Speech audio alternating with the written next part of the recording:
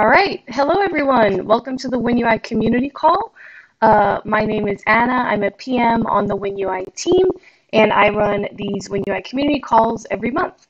So thank you all for joining. I'm going to go ahead and get into our PowerPoint. Um, a little bit about the community call. So these take place on the third Wednesday of every month uh, at 9 a.m. Pacific. Our next call is going to be on May 19th. Uh, in the meantime, you can always find us on GitHub and on Twitter. On Twitter, we're always posting updates about the latest news, and on GitHub, you can do things like do feature requests, ask questions, start discussions. So, lots of great ways to connect in the meantime. All right, so for today's call, uh, I'm going to do a little intro. I'm going to talk about some roadmap updates and show you the roadmap for all of WinUI.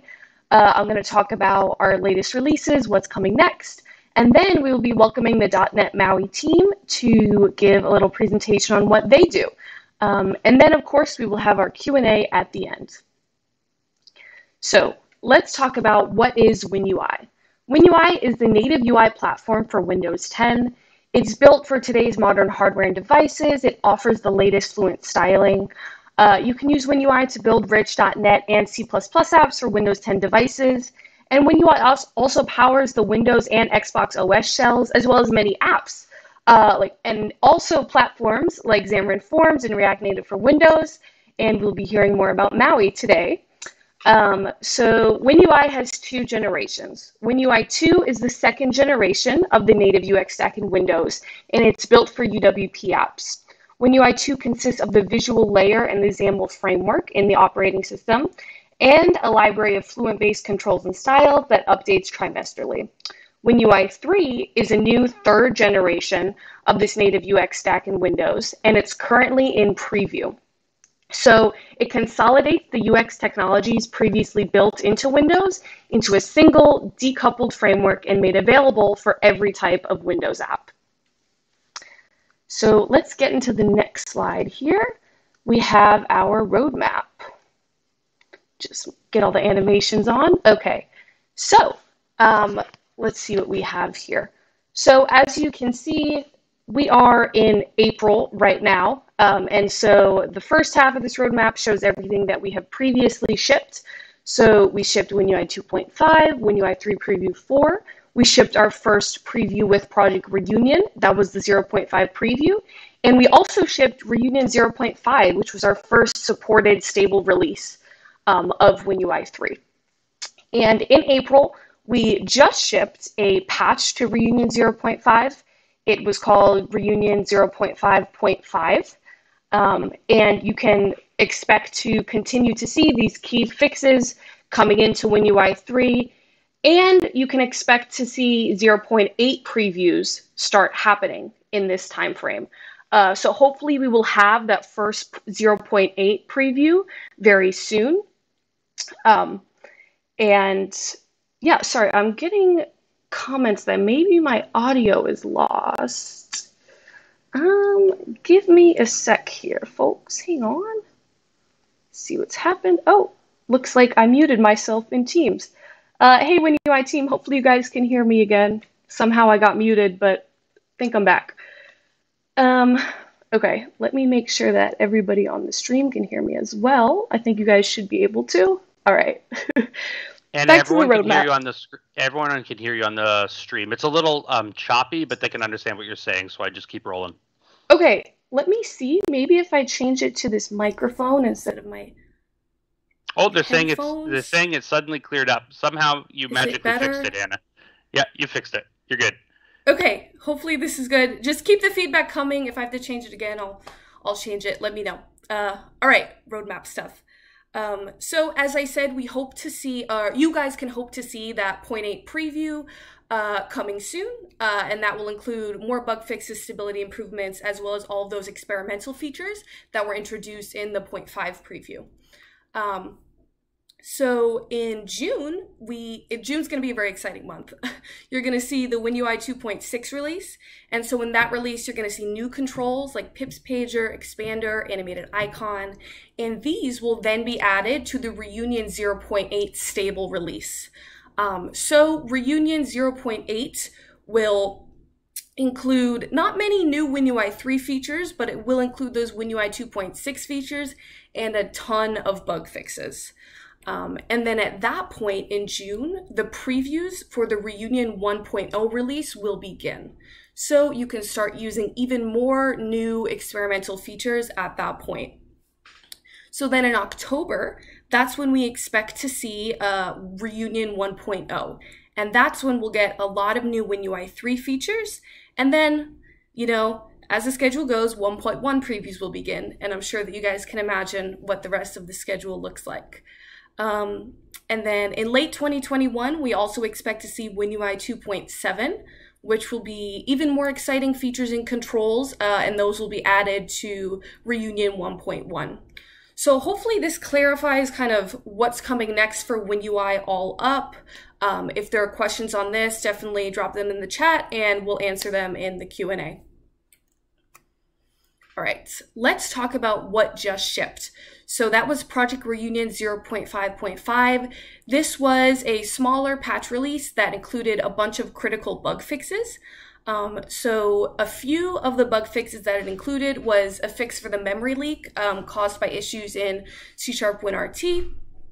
Um, it fixed the bug for the acrylic brush rendering transparent. Alt F4 not closing desktops that works at uh, desktop apps that works now. Um, and also the Project Reunion Foundation package breaking on WPF compilation. I believe that's also been fixed. Um, so if you want to see the full list, you can follow that link that's displayed down there. We have a full list of the bug fixes on our actual announcement.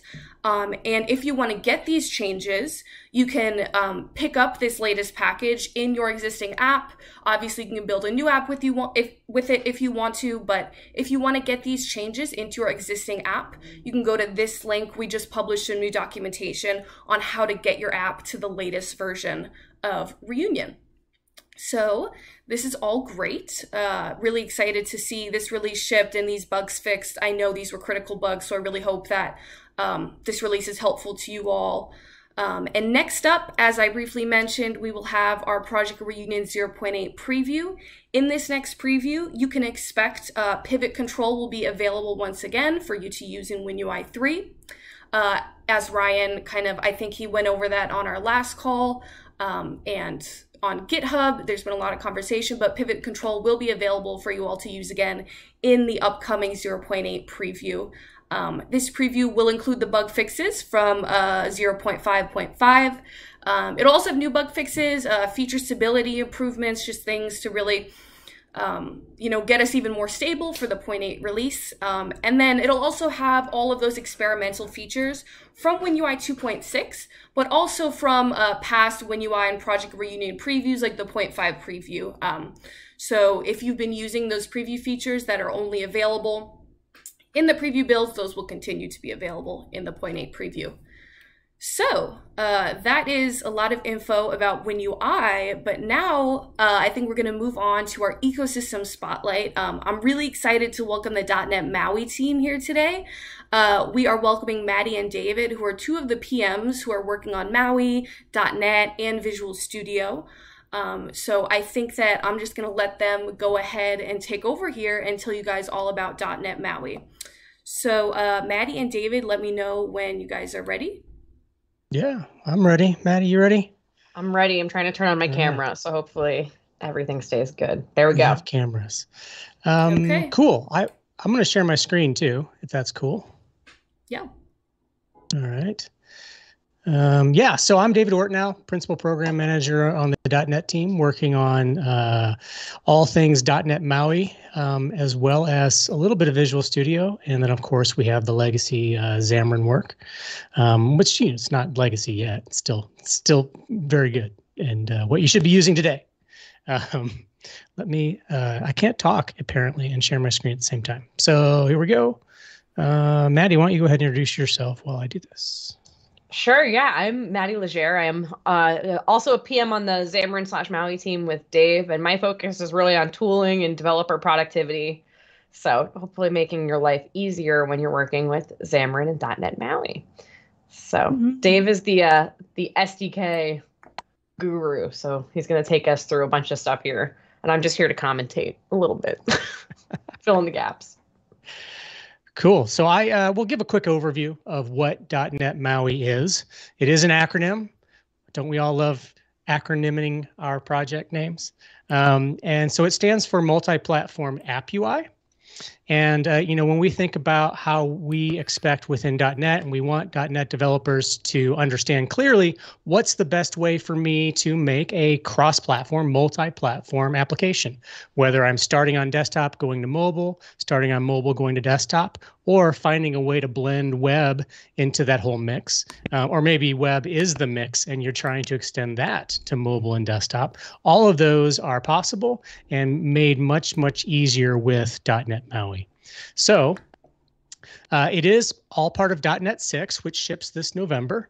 Um, and in terms of the iOS and the Android SDKs, as well as our project system and a lot of like the debugging pipeline and things like that, this is really about us unifying with the rest of .NET and where things have been going from framework to core and now .NET 5 and .NET 6.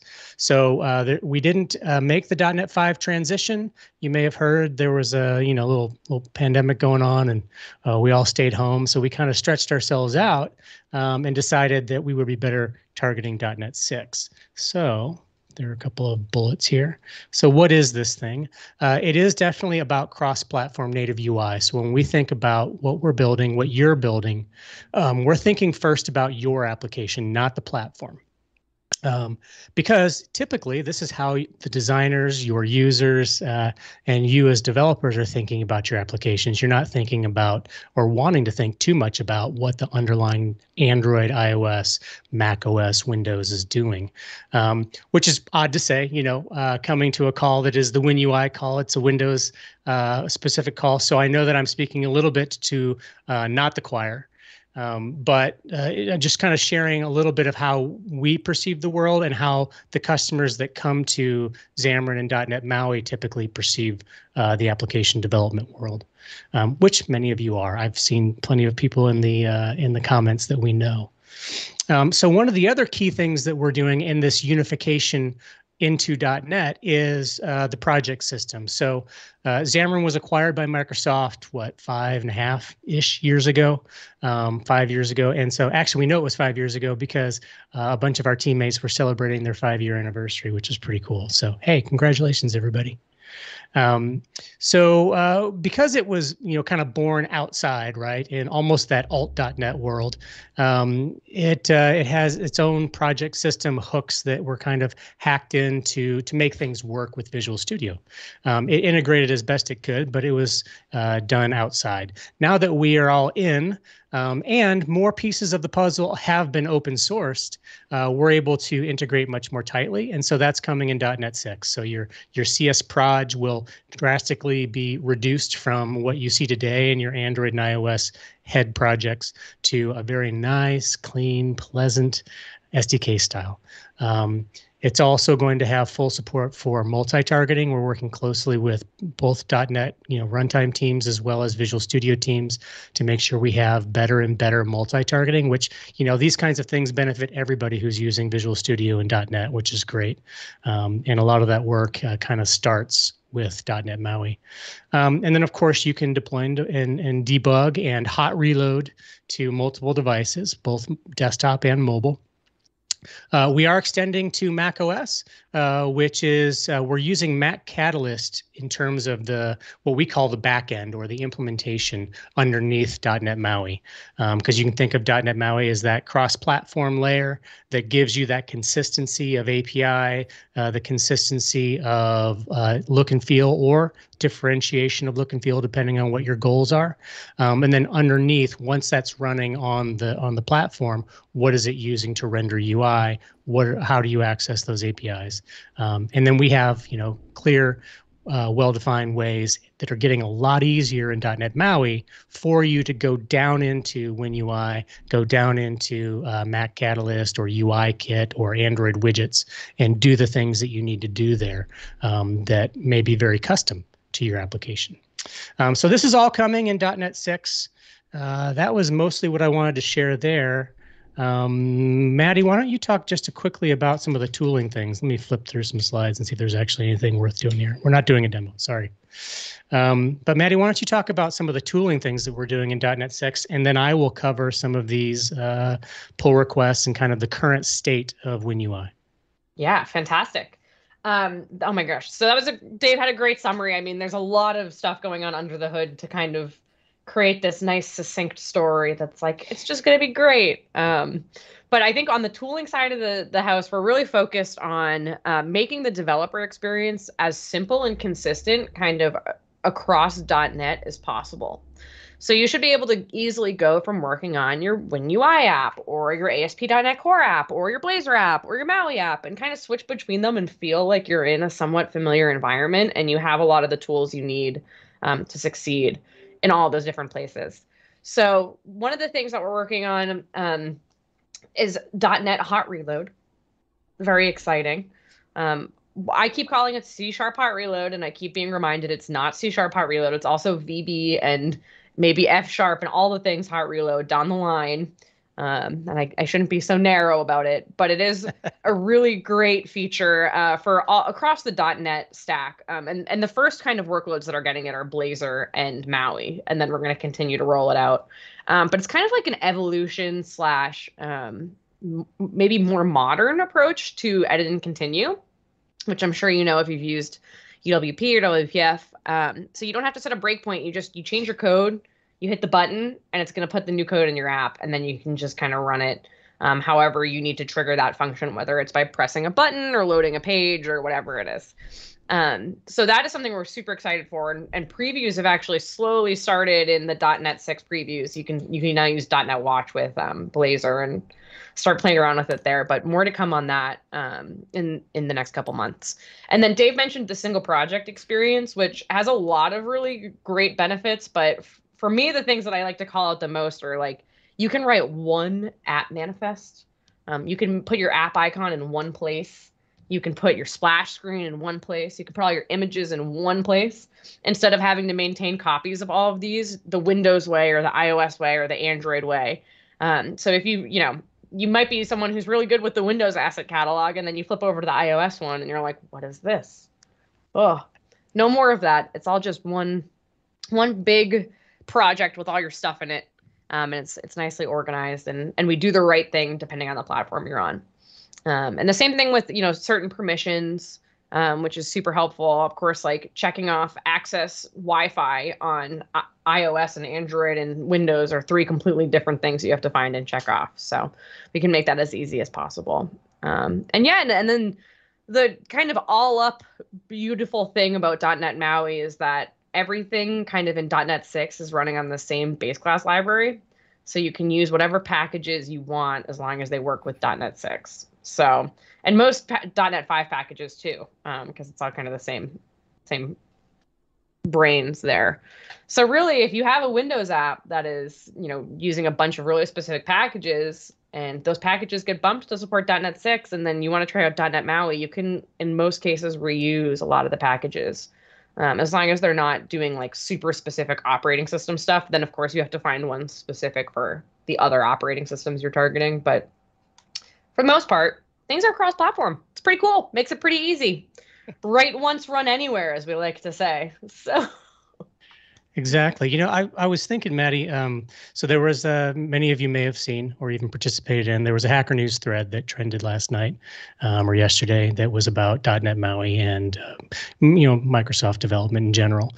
And uh, one of the comments I saw was, you know, wow, the the, the Blazor Hot Reload, uh, .NET Hot Reload is super fast and they were really excited about it as compared to what we have today for XAML Hot Reload.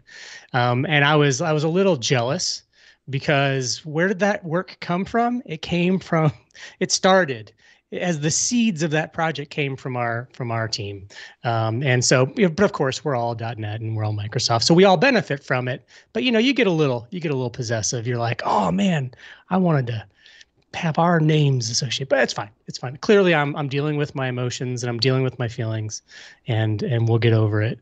Um, well, let me jump back over to my, because uh, I can share faster now. I, have done this twice. Let me share my screen again. So uh, where we stand with with Maui right now um, in terms of supporting WinUI 3 uh, is when when 05 0.5 uh, was released, we quickly adopted that um, brought it in. And of course, uh, we've been working, our engineers working with the WinUI team engineers and figuring things out. And un- they've been awesome to help unblock us when we hit issues um, and give us guidance, which is great. Thank you, Ryan and team, um, and Miguel. Miguel is here too.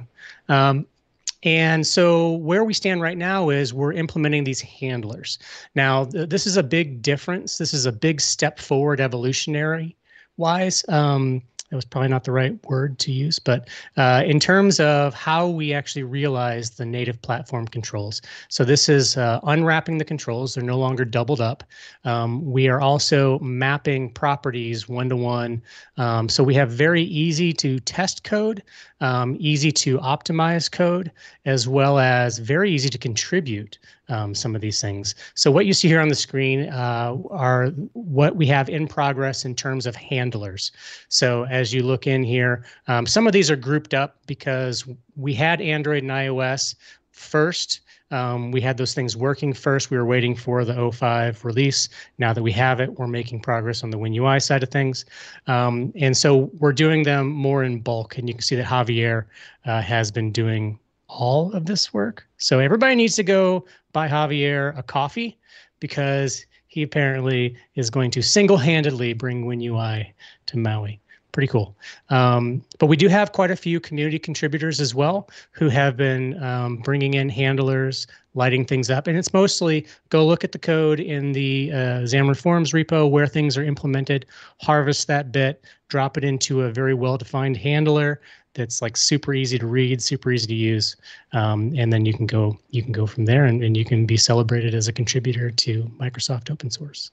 So these things will get merged uh, quickly, um, and then we'll have uh, more and more native Maui with WinUI 3 running uh, when we come up to build later in May, um, and to some of the other uh, things going on in the Maui space. And of course, this is the GitHub where you can find all the good information. Um, I've started adding these quick docs. So if you want to find out how do I get started, we have this cool utility called Maui Check. It's a .NET tool um, from Jonathan Dick Redth, who is uh, the lead on the Maui team. So uh, this is kind of your doctor tool, right? You run this from the command line. It evaluates your system, tells you what you have installed, tells you what you could install. Uh, you just follow the interactive guide and it sets everything up, which is super useful when you're dealing with multi-platform setup because look at all these things that you have to get aligned, right? It's it's not very straightforward, but this tool makes it super easy. So I highly recommend using that to get yourself set up.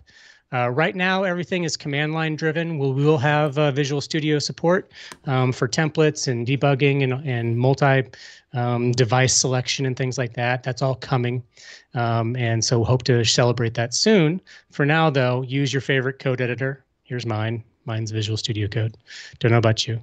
Um, and then you can you can edit from here. Just follow these steps and you're up and running. And then uh, if you want some additional information about some of the architectural things that we're doing, I've started adding some guides here. So what does startup look like? How are we uh, kind of bootstrapping your application from a minimal standpoint? Um, and then, you know, what are we doing to enable things like configuring of fonts if you want to give it a nice convenient alias? Um, how do you include fonts? This is one of those things we call a single project feature where you can just drop all your fonts in a folder tell your project system that you want to go ahead and bring those into your project so you can use them and you can run you can use them immediately um, and then for third party control vendors for you yourself, you can write any of these hosting extensions. Um, here's an example of how we're doing this with Essentials. Essentials is the library within Maui that allows you to do things like GPS and all the non-UI cross-platform things, um, accessing your photos. Uh, I think we might have contacts in there these days. Um, yeah, a lot of those sorts of features which most people are using, uh, setting up maps, version tracking. So it's a nice, convenient, singular place. Uh, whereas in the past, before .NET MAUI, um, you would have to go into three, four, five places to configure all of these things, whereas now, one convenient place for you to do that. Um, and then in terms of compatibility, should you be bringing forward Xamarin Forms code, uh, third-party vendor code, uh, whatever you might have, and you need to uh, enable those things as opposed to using the new Maui implementations. We have these new ways for you to register handlers. Um, so you can register a compatibility renderer for a handler. Uh, you can also um, uh, point to an assembly and just say, go get me everything from that assembly so you don't have to type out a bunch of stuff like this. Because um, we know that several customers have um, a huge library of custom work that they've built up over the past seven years, because this is a seven year old code base, generally speaking. Um, but again, huge evolutionary step forward. Um, so I want to call attention to that, point you to these things um, how you can customize controls. You may have heard of custom renderers in the past. Well, uh, that is a thing of the past. And so this bit of code right here as an example, uh, or this one as an example, removing the underline on an entry for Android, that annoying, uh, I call it a goatee. It's that little, you know, line at the bottom of the entry you just want to get rid of, but you can't. Uh, this is all you got to do. Super easy. Um, I mean, unless you get paid by the keystroke, I guess. Uh, but this is uh, much more straightforward. All right, Maddy, stop me from rambling. What else should we talk about? I this is great. I don't know. I'm just trying to keep up with the chat. People are very excited. It's nice to see. Apparently, Morten is already shipping uh, ArcGIS runtime support for WinUI. So That's awesome. You're a machine. That's crazy. Um, We do also impressive. have this blog post, real quickly, I'll point out on the yep. .NET blog when Preview 3 went out. So with each preview, we'll continue to update everyone on status through the blog posts.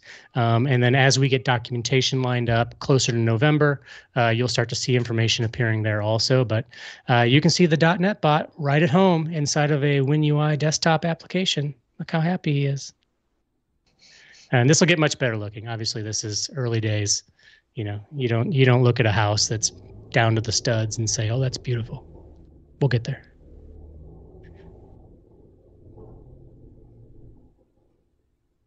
All right. Uh, let's see what else is going on uh, Windows and WinUI related. Have there been good questions in the chat? I wasn't uh, paying attention. We can totally answer some on the fly. Yes, if you guys also, if you just want to jump right into Q and A now, we can totally do that. All right, cool let me switch us over to our Q&A screen, which is just adding me in here. Uh, folks, WinUI team, if you guys want to go ahead and turn on your cameras and join the party, um, I think we can get into our Q&A. Look at all these beautiful people. I wore a hat because my hair was not behaving today. Been I... there, David. I've been there. yeah, I'm uh I'm with both of you. My hair is getting long enough now that it'll tickle my microphone if I don't switch it over to my laptop.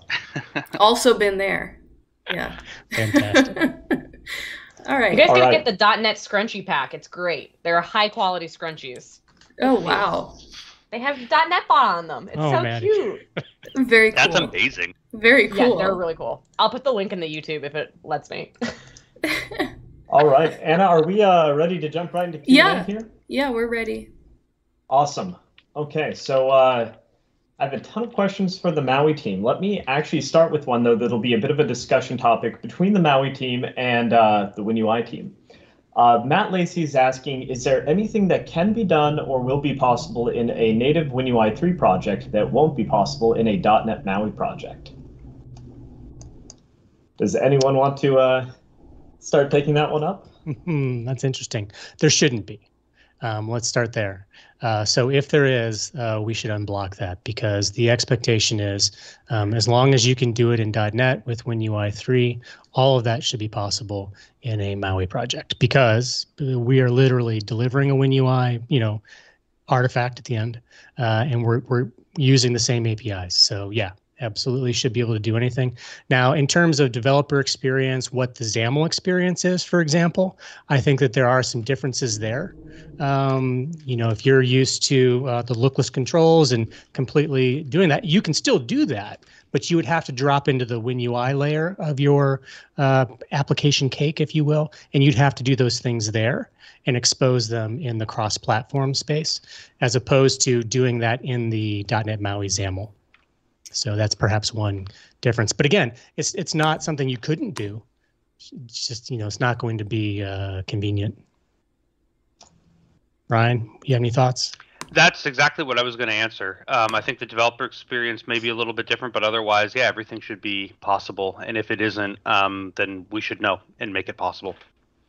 So yeah. you covered it great. That's awesome. All right. Well, another question for a Maui team, uh, for the Maui team, coming from Saint Forever, who is asking regarding .NET Maui, how would it target Xbox and other platforms since WinUI is focused primarily on desktop? And I'll also probably tag in Ryan to a- answer that uh, assertion about desktop focus. Uh, can you ask it again, Savoy, just because I was typing? Oh, yeah, sorry, no problem. Saint Forever is asking regarding .NET MAUI, how would it target Xbox and other platforms since WinUI is only about desktop?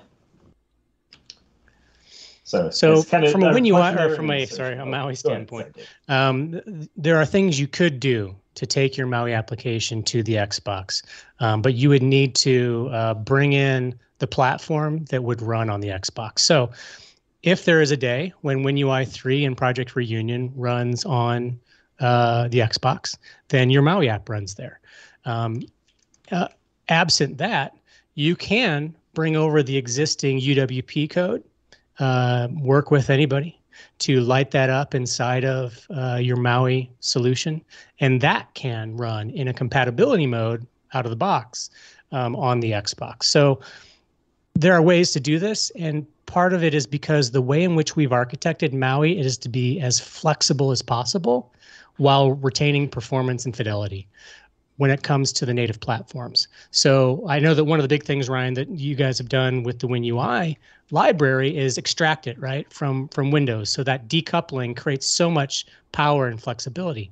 Well, that's what we've done in, in Maui is we have taken the, the UI control layer that you typically work with, the API, and we have extracted that and decoupled it from the platform implementations, which we used to call renderers, now we're calling handlers. It's a very loose relationship now that we're not using bindable object everywhere and depending on that. Um, the native platforms don't know about the cross-platform side anymore, where they did before. So we gain a lot of flexibility there, which enables us to go to XAML, to Blazor, to Comet, which is another experiment that's C sharp MVU. Um, so, you know, we we are we are geared so that we can walk hand in hand with the WinUI team to deliver the latest of what they're doing when they do it. It's kind of you know the goal, right? That we give you the latest and greatest on each platform um, without you know compromise. Yeah, that's great. And I'll just add to that. Um, you know, that story is, I think, similar in the direct. If you're writing directly to WinUI, we still have WinUI 2. It's still our recommended path, our golden path for being able to uh, create new uh, ex- uh, experiences that run um, on any of the UWP class devices like an Xbox and we're going to continue to invest in that for at least the next couple years. Um, and that's going to be a path forward, at least until we can get to the point where Reunion is able to go and um, cover, cover some of those scenarios. Right now, Reunion is very desktop focused, so um, there's there's still a, um, a pathway there for people who want to who want to do that. Um, and yeah. Ryan, that is a perfect transition to a question from Shahid Malik, who is asking, uh, when will UWP be updated to, uh, to WinUI so Xbox can take advantage of the features? Win32 and WinUI 3 is great, uh, but not something I'm finding a serious path forward for Universal Windows apps. Or first, I should yeah. say, not a serious path forward for Universal Windows as a category. Yep, I'm assuming at the start of that question you meant um, WinUI 3, and when will WinUI 3 be updated to go and run in those places? And uh, yeah, yeah, great. And um, uh, the answer to that is we don't have a, a, specific time frame on when we're going to be able to run something like uh, a reunion app on an Xbox. Um, it's a, uh, it's not going to be this year for sure. Um, and it's something that we'll reevaluate as we plan further out than six months, which is roughly about how far out we plan right now. Um, so that's why I can say pretty confidently it won't be this year. Um, but um, until then, like I said, we have the UWP WinUI 2 stack. When we make new features and controls for WinUI, we make them for both. Um, so, like we introduce new controls, they get introduced in WinUI 2 and in WinUI 3 um, to make sure that there's a good solution there. So, when we have a time frame for that, um, we'll definitely share it. Perfect. All right. Another question for the Maui team. Uh, this one's coming from Jeremy, who's asking any thoughts on the future of Blend? If Maui's replacing all the things, will Blend be updated to support it? Maddy. Oh, you're muted, Maddy. I can answer it. I mean, I just, I, but I wanted to give you a chance. Maddy, oh, you can't unmute. Teams is not behaving. Oh, I see. Can, can we? Moment of silence for teams, No, please. we can't unmute you. We can try and come back to that one in a moment here. Sure. I'll uh I'll grab something else. Um uh, let me let me grab something for the WinUI team for a moment. All right, Ryan, uh, we have a request from Marvin who's asking, can you speak about the plan for open sourcing again? I understand that it is somewhat of a high priority uh, now that WinUI 3 stable has shipped. What is the goal when you say open sourcing WinUI? Will the code just be uh, mirrored there, or is the plan to open up the development process as well? Perhaps the end goal is something like what the .NET project is doing, uh, where they have public planning, public issues, live streamed API meetings, public code reviews, and more. Yeah, great questions. Um, I think I'll answer them in reverse order. So first, um, the you know what is the what is the plan for open source? The eventual plan that we want to get to for sure um, is full open source participation um, from both us and the community. Meaning the engineering that we do is fully open. We are also able to accept um, new ideas from the community, take PRs. You can build the code. You can test your changes um, all the stuff that you would expect of like a truly fully open source project. That's definitely the end goal. Um, in terms of how we get there, I would say up until recently, my thinking has been let's just shoot for that. It's been um, pretty ex- a, pretty expensive journey for us that we're that we've already traveled quite a ways to try and get to that point because going open source for WinUI, we have about eight or nine years of um, closed source coding that has gone into that code base, and a lot of that closed source coding calls private APIs in Windows and it does a number of other things that we need to clean up and fix before we can open source it. So we've already been doing a lot of that work. We still have quite a bit left to do.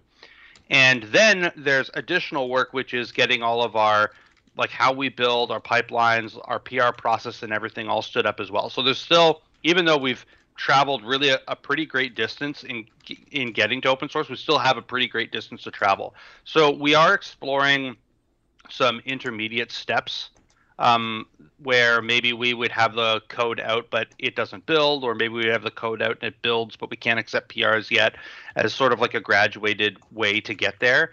And this is really in some ways unique to our situation because we're starting with just such a massive 3 million plus line code base. Um, whereas this you know if this was like a brand new project it would have been like what WinUI 2 was effectively it would have been really easy to start open source. So um, we may be looking at some sort of like a graduated system where we have progressive layers of capability in terms of what can be done and what you can do as a community member to contribute um, as we unfold this in terms of when, um, I don't have any time frame to share other than we're still making plans for our October release, and then beyond October, we also have to begin figuring out what's the next set of things that we want to do. Um, and open source will fall in there somewhere, and when we have more to share, I'll definitely share it. Awesome, thanks, Ryan. Uh, let's see. I'll try to grab a question for the Maui team here. Well, yeah, Maddy's back So here. I'm back. So Oh, Maddy's and back. she's Nothing unmuted. Quick, hold down the power button, restart the computer won't fix. wow, that's, a, that's that's so Yeah. extreme to unmute. It's I, the new well, yeah, I unmute. went, I clicked in and the window blacked out, and then it was like end process, and I was like, "What is this?" So I tried to open Task Manager, and that wouldn't open, and that was it. I was like, "You know what? There's nothing I can do here, but just not stand up so like nobody sees my pajama shorts while I'm stuck on the uh, on camera, and then. um yeah okay so so blend is a great question. Yes let me uh, uh, let me repeat that question just to make sure our audience has the context here for those just joining. Uh, right. and maddy welcome back. Uh, we're excited to have you again pajamas or otherwise. Um and so it was uh oh man i just had it. Here it is coming from jeremy uh, who asked any thoughts on the future of blend if maui is replacing all the things will blend be updated to support it yeah, good question. So I, you know, Maui is not replacing all the things. First of all, Maui is just. Um, I think someone else said this in the chat, maybe, but it's like, it's a superset of all the things. Like we're taking the best and the most necessary of everything and kind of making a, um, you know, like a like a best guess. I don't know. We're doing as much as we can to make sure that you can target everything cross-platform. So drag and drop design tools. I could and I, Jeremy, I'm sure I've talked to you about this before, maybe not, but I could go on this rant for like hours about why drag and drop design tools are really hard for different device sizes. So, you know, when you write something like your XAML or you write your, um, you know, if you write C sharp UI, like it's all responsive. Like the layouts you use and create are going to be responsive to the device size that you're on. And so that involves some tweaking sometimes because obviously you don't want the app on someone's Android to look the exact same as you'd want on their 1440 monitor. Like you can put buttons in different places and there's different UI paradigms. So we make that all possible in Maui and, and in Xamarin Forms with, you know, like kind of the platform specific stuff. But when it comes to design tools, we have not been able to figure out a good way to do that for mobile developers. So we can make it so that you can dr- kind of drag and drop in, like how they do on Android, this kind of vertical thing, and then you can tweak your layouts and the code behind and all that. Or you can do the desktop way, like what you do with Blend, and that has all the animations and it's super powerful, but then it doesn't translate well to mobile. And it's uh we've put a lot of time and effort into this and we have not come up with a solution that's actually helpful for people based on our customer research right? That doesn't mean it's not a good idea. It is a good idea but the amount of work we'd have to put in to get it to a point where we think it's really going to benefit people is crazy right now. So that is just my wraparound answer to say like we have no plans to support blend right now. That being said there are a lot of features of blend like i mentioned the animations and transitions and um, a lot of times, like the brushes and gradients and stuff, like we're trying to make that a lot easier from the code itself. Um, so hopefully you feel like you need things like blend less. But I'm not writing it out for. I'm not saying absolutely not never. I'm just saying like we have we have uncovered, we've dusted off the beast and peeked in, and we were like, oh man, never mind, not gonna happen right now. So that's what that's where we're at. Awesome, thanks, Maddy.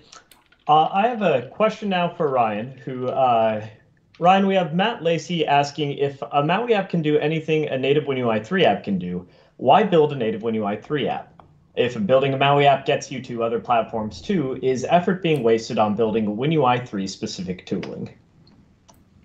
That's a great question. Um, I think the first thing to start with is sometimes it is better uh, and more correct to build a Maui app than to build a native WinUI 3 app. Um, I think that one of the biggest um, probably distinguishers there was sort of built into your question, which is cross-plat aspirations or not. Um, if you have cross-plat aspirations, Maui's great, um, and uh, it will unlock the power of WinUI 3, but it'll also take you beyond Windows, which is really what WinUI 3 focuses on, um, to uh, other platforms and places where you can go and run and play. Um, uh, when you build, and I'll ask uh, David maybe to join me in here, uh, join in with me here on this answer to make sure that I also understand this correctly. But if you are, like, if you want to, if you're writing a Maui app, you should be able to do everything, at least for sure, on Windows um, that a WinUI 3 app can do. I don't know if that is true on other OSs because I could envision something that WinUI 3 could go um, um, could invest in that might not be possible on you know on a Mac or might not be possible on on on some other device.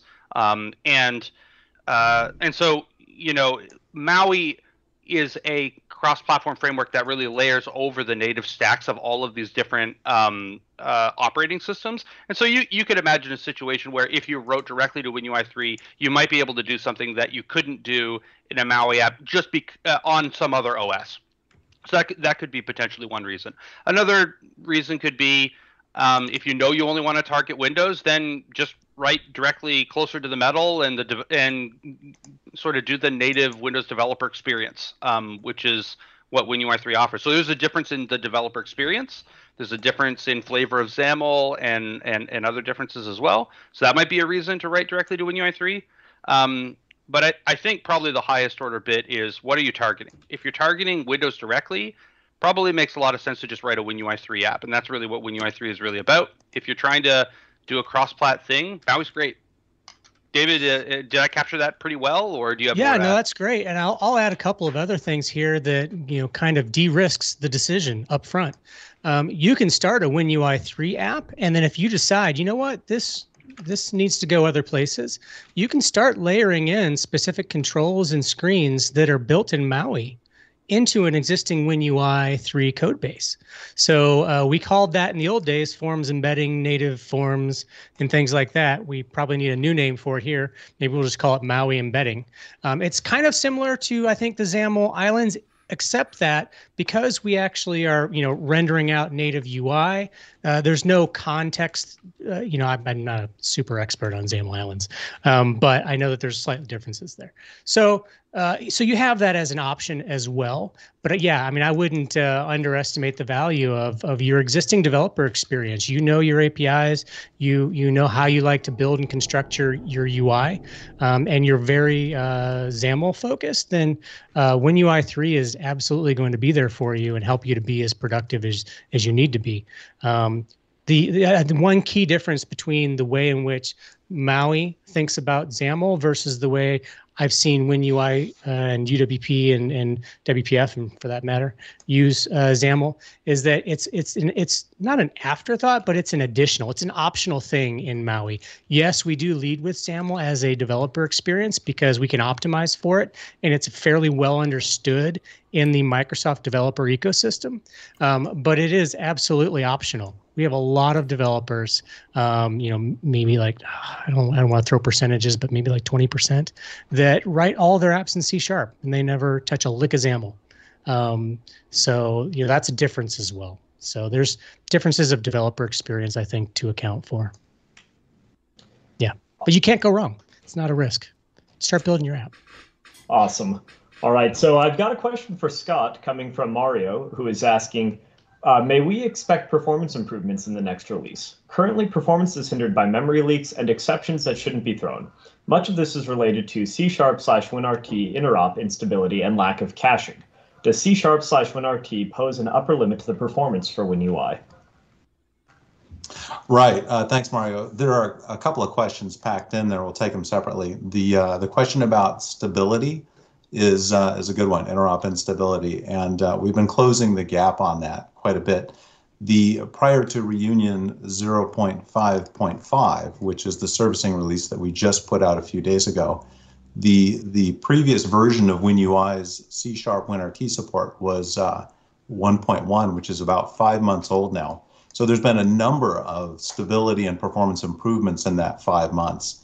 And uh, I'm, I'm hoping that, Mario, when you take a look at 0.5.5 plus uh, reunion, you'll, you'll see some of those. If you do see any issues, specific issues, performance issues that you feel uh, are directly attributed to C Sharp WinRT, then I'd, I'd really um, encourage you to go to github.com slash Microsoft slash CsWinRT slash issues and add a performance issue there. We have uh, about a dozen uh, or so logged perf issues that are labeled performance. That is the top priority right now for the team. Uh, now that we've established functional completeness, we're turning our attention to performance. There are a couple of specific issues that we're aware of that uh, are impacting performance. One of those is uh, pinterface or parametric interface GUID calculation. We do cache every one of the things that we need to uh, determine with reflection, we cache it on a per type basis, but ideally we would we would try to eliminate as much of that runtime uh, overhead as possible. So even though we're we're amortizing that over the run of the app and we're caching where possible, ideally we we have static GUID determination for those interfaces.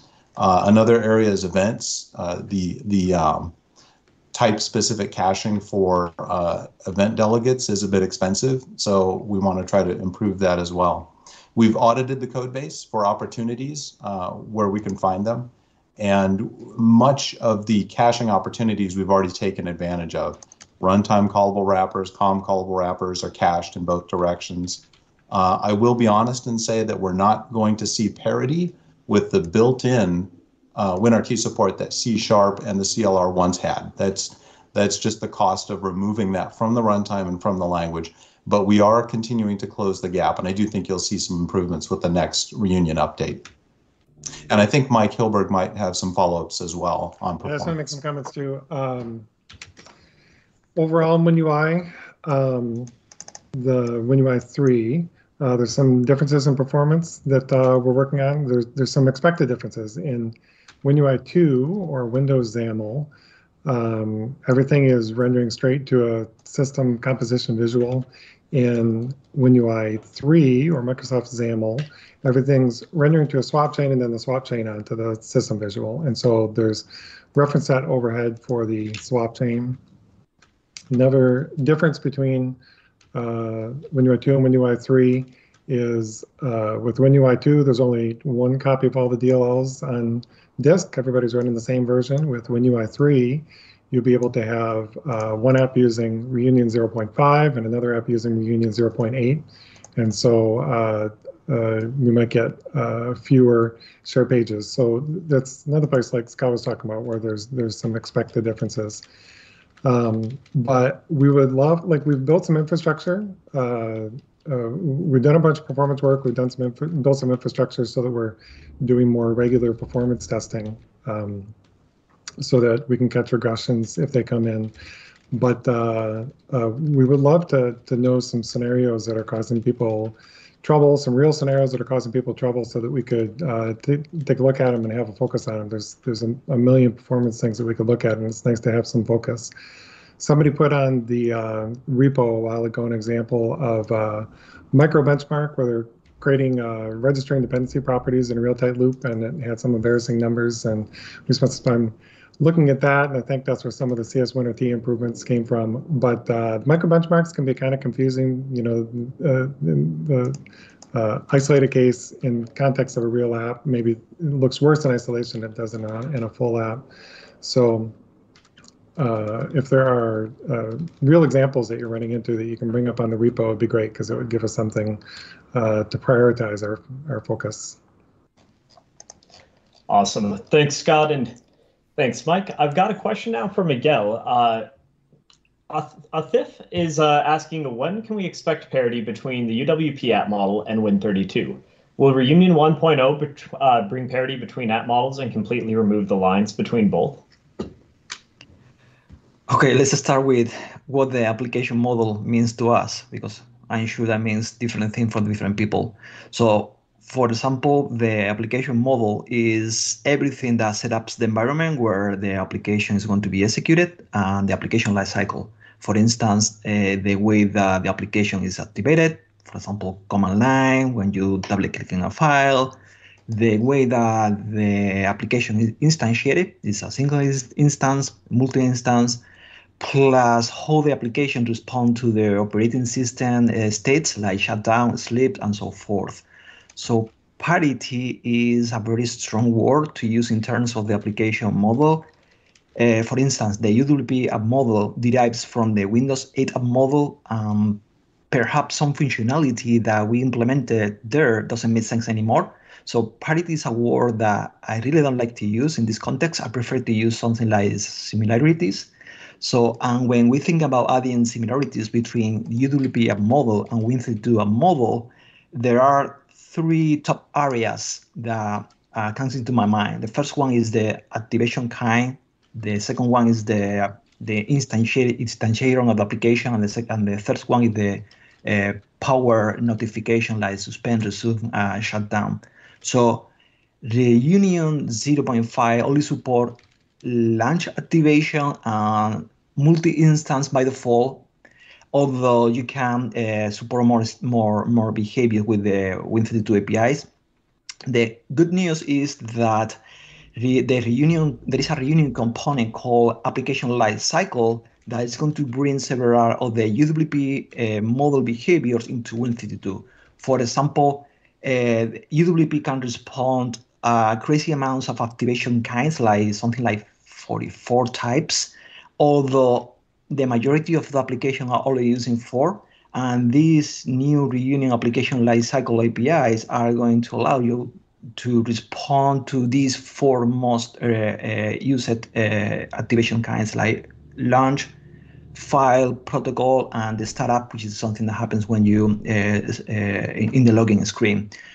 It's going to be super easy just to use these activation kinds, just a couple of lines of code. The also the these uh, application lifecycle uh, reunion APIs will make easier to specify when your application will be single instant or multi-instant. You have just to uh, hook up several events.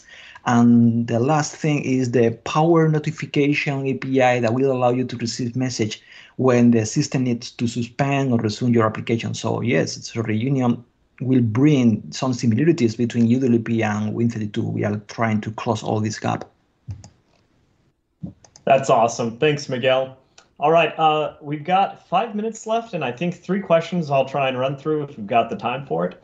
I'll uh, start with a few for the Maui team. Maui, or uh, Maddy, uh, we have Dot Morten asking, when will MS Build slash VS 2019 support uh, Net uh, .NET 6.0 iOS, Net 6.0 iOS, and Net 6.0 Android? That one was a tongue twister. Yeah. Um, I saw that chat question in the chat and I was like, don't we already? And then I messaged like four people and then they all responded to Dave and not me apparently, but it already supports it. So you can totally go use all those things. I mean, .NET 6 is in preview, right? So you have to make sure you check off the little checkbox, I think, in tools, options, preview features that says, um, you know, allow me to use the .NET Core Preview SDKs.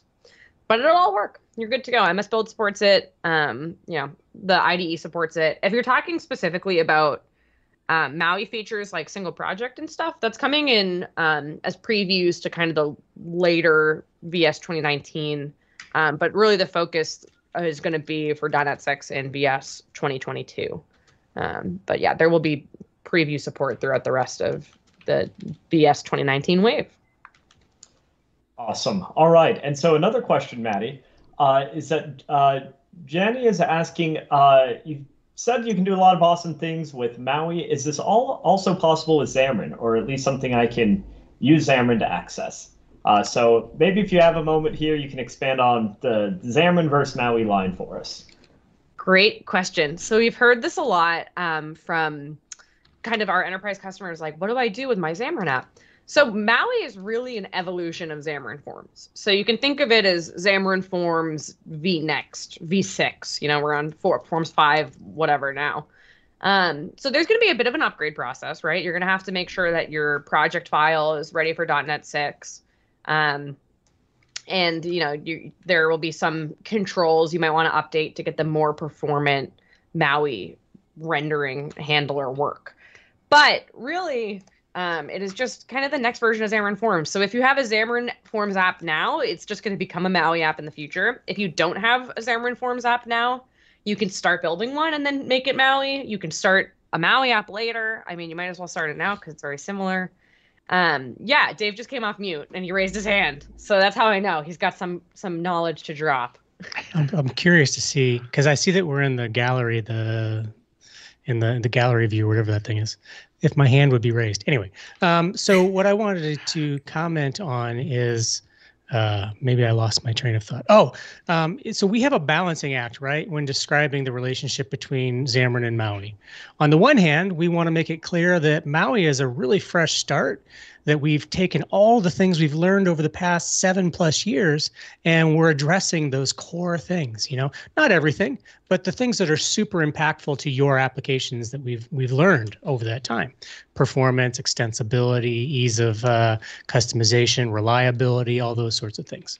Um, so we want to give that confidence hey this is great. This is really a big step forward.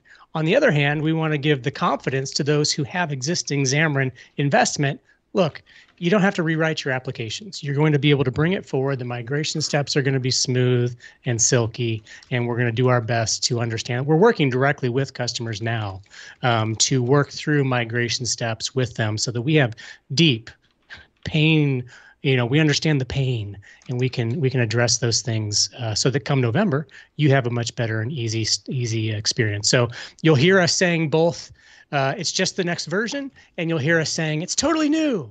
And you're like well wait a second which one is it? Well it depends on who we're trying to talk to and what we're trying to uh, express.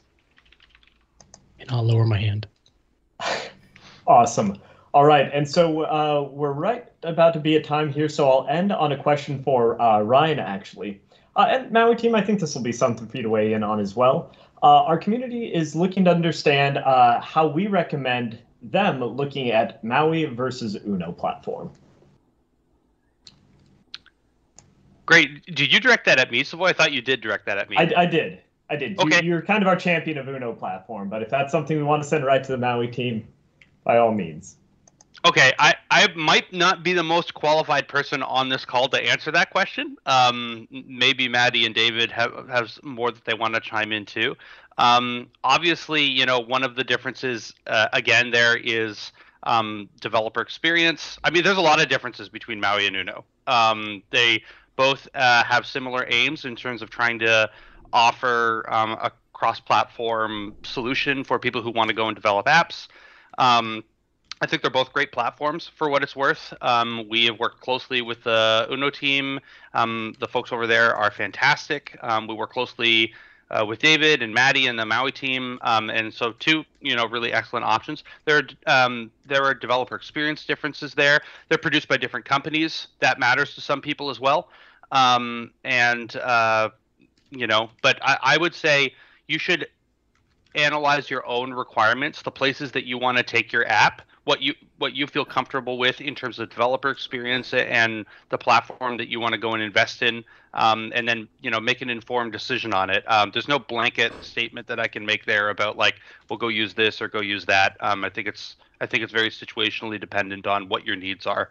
Um, and David and Maddy, I'll invite you to add anything in there as well, since you guys spend even more of your, much more of your day than I do, thinking about um, your your cross-platform offering and and uh, what its strengths are as well. Yeah, we we we talk a lot about this and we think a lot about this because we want it to be an easier decision for developers. I mean, I'll start off first of all with it shares a lot of technology, a lot of the same underpinnings. It's you're in .NET, so if you're using .NET, I'm happy.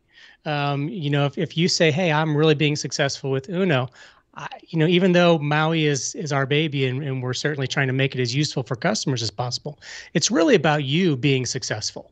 Um, if we build a product that I'm in love with, but nobody uses it and it's not helping anybody change the world for the better, forget it. Like that was a waste. Um, so what's going to be most useful to you when we look at uh, you know how Uno is positioned as compared to .NET MAUI? Uh, some standout things are with Uno, you get the lookless controls, you get the uh, Skia or graphic drawn uh, theming out of the box. You can fall back to platform theming and access those things as well.